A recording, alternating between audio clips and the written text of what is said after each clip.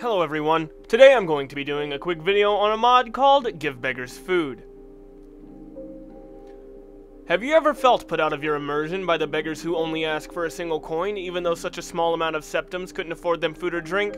Well, as the name of this mod suggests, Give Beggars Food allows you to actually give the occasional beggar anything from a small potato to a full meal.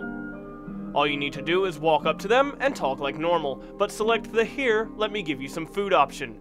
This will pull up your food menu, and from there you can select any number of delicacies to treat the poor, rag-clad beggar with.